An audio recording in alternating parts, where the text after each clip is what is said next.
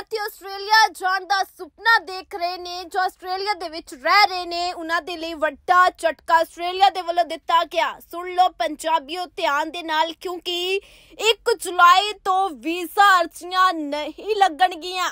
ਦੱਸਦੀ ਹੈ ਕਿ ਵਿਦਿਆਰਥੀਆਂ ਦੇ ਲਈ ਨਵੇਂ ਵੀਜ਼ਾ ਨਿਯਮ ਲਾਗੂ ਕਰ ਦਿੱਤੇ ਨੇ, ਜਿਸ ਦੇ ਨਾਲ ਹੁਣ ਭਾਰਤੀ ਵਿਦਿਆਰਥੀਆਂ ਦੀਆਂ ਮੁਸ਼ਕਲਾਂ ਵਧਣਗੀਆਂ। ਆਸਟ੍ਰੇਲੀਆ ਦੇ ਵਿੱਚ ਵਿਦਿਆਰਥੀਆਂ ਦੇ ਲਈ ਨਵੇਂ ਵੀਜ਼ਾ ਨਿਯਮ ਲਾਗੂ ਕੀਤੇ ਜਾ ਰਹੇ ਨੇ, ਜਿਸ ਦੇ ਨਾਲ ਵਿਦਿਆਰਥੀਆਂ, ਖਾਸ ਕਰਕੇ ਭਾਰਤੀ ਵਿਦਿਆਰਥੀਆਂ ਦੀਆਂ ਮੁਸ਼ਕਲਾਂ ਵੱਧ ਸਕਦੀਆਂ ਨੇ।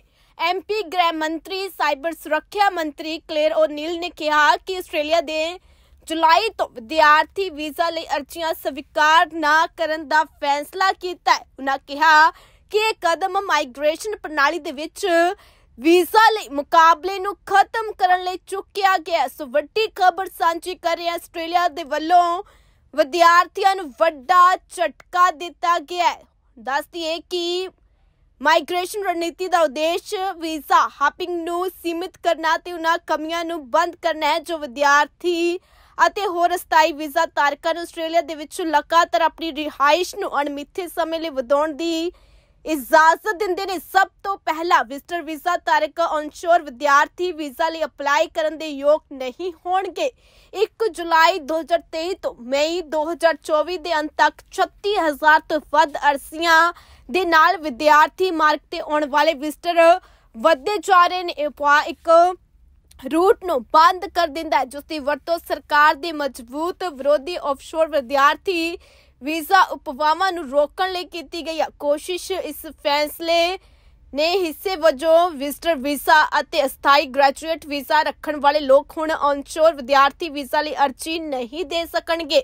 ਇਹ ਪ੍ਰਵਾਸ ਨੂੰ ਘਟਾਉਣ ਦੇ ਲਈ ਇਸ ਸਾਲ ਲਾਗੂ ਕੀਤੀਆਂ ਹੋਰ ਤਬਦੀਲੀਆਂ ਤੋਂ ਇਲਾਵਾ ਨੇ। ਗ੍ਰੇਟਨ ਇੰਸਟੀਚਿਊਟ ਦੁਆਰਾ 2023 ਦੀ ਇੱਕ ਰਿਪੋਰਟ ਵਿੱਚ ਪਾਇਆ ਗਿਆ ਕਿ ਤਿੰਨ ਵਿੱਚੋਂ ਇੱਕ ਅੰਤਰਰਾਸ਼ਟਰੀ ਗ੍ਰੈਜੂਏਟ ਅੱਗੇ ਦੀ ਪੜ੍ਹਾਈ ਲਈ ਵਾਪਸ ਪਰਤਾ ਹੈ। ਜ਼ਿਆਦਾਤਰ ਸਸਤੇ ਕੀਤਾ ਮੁਖੀ ਕੋਰਸਾਂ ਵਿੱਚ ਤਾਂ ਜੋ ਆਸਟ੍ਰੇਲੀਆ ਵਿੱਚ ਉਸ ਦਾ ਠਹਿਰਾ ਲੰਬਾ ਹੋ ਸਕੇ। ਗ੍ਰਹਿ ਮਾਮਲਿਆਂ ਬਾਰੇ ਮੰਤਰੀ ਕਲੇਰ ਨੇ ਐਲਾਨ ਕੀਤਾ ਕਿ ਆਸਟ੍ਰੇਲੀਆ ਵਿੱਚ ਪੜਨ ਲਈ ਆਉਣ ਵਾਲੇ ਲੋਕਾਂ ਲਈ ਨਿਯਮਾਂ ਨੂੰ ਸਖਤ ਕਰਨ ਅਤੇ ਮਾਈਗ੍ਰੇਸ਼ਨ ਦੇ ਪੱਧਰ ਨੂੰ ਘਟਾਉਣ ਲਈ ਇਸ ਸਾਲ ਦੇ ਸ਼ੁਰੂ ਵਿੱਚ ਕਈ ਬਦਲਾਅ ਕੀਤੇ ਗਏ ਸਨ, ਪਰ 1 ਜੁਲਾਈ ਤੋਂ ਸਰਕਾਰ ਦੋ ਰੂਟਾਂ ਨੂੰ ਬੰਦ ਕਰ ਦੇਵੇਗੀ। ਜਿਸ ਦੇ ਤਹਿਤ ਵਿਜ਼ਟਰ ਵੀਜ਼ਾ ਅਤੇ ਅਸਥਾਈ ਗ੍ਰੈਜੂਏਟ ਵੀਜ਼ਾ ਧਾਰਕ ਹੁਣ ਔਨਸ਼ੋਰ ਵਿਦਿਆਰਥੀ ਵੀਜ਼ਾ ਲਈ ਅਪਲਾਈ ਕਰਨ ਦੇ ਯੋਗ ਨਹੀਂ ਹੋਣਗੇ। ਸੋ ਵੱਡਾ ਝਟਕਾ ਜਿਹੜਾ ਆਸਟ੍ਰੇਲੀਆ ਦੇ ਵੱਲੋਂ ਦਿੱਤਾ ਗਿਆ ਕਿ 1 ਜੁਲਾਈ ਨੂੰ ਸਟੂਡੈਂਟ ਵੀਜ਼ੇ ਲਈ ਹੁਣ ਅਰਜ਼ੀਆਂ ਸਵੀਕਾਰ ਨਹੀਂ